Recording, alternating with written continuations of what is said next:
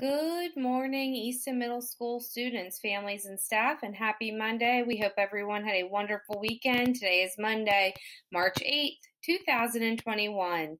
Please stand for the Pledge of Allegiance. I pledge allegiance to the flag of the United States of America and to the Republic for which it stands, one nation, under God, indivisible, with liberty and justice for all. Students, today is an A day, so you'll be logging on to your A day related arts courses. And we have a few of our Panther Pride Award recipients to recognize. First up, we have Miss Ewing. Mrs. Ewing student said she is always trying to help her students better understand band and doesn't mind to give a hand.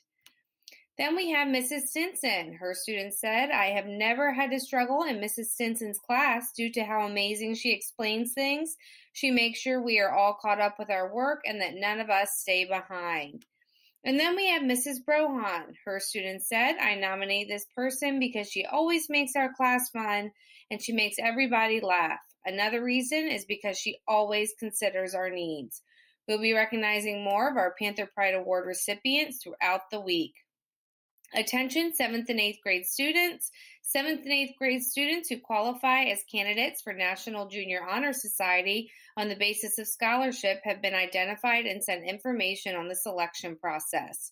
Please review the information on the NJHS Candidates Frog page with your families and decide if this is an opportunity you would like to pursue.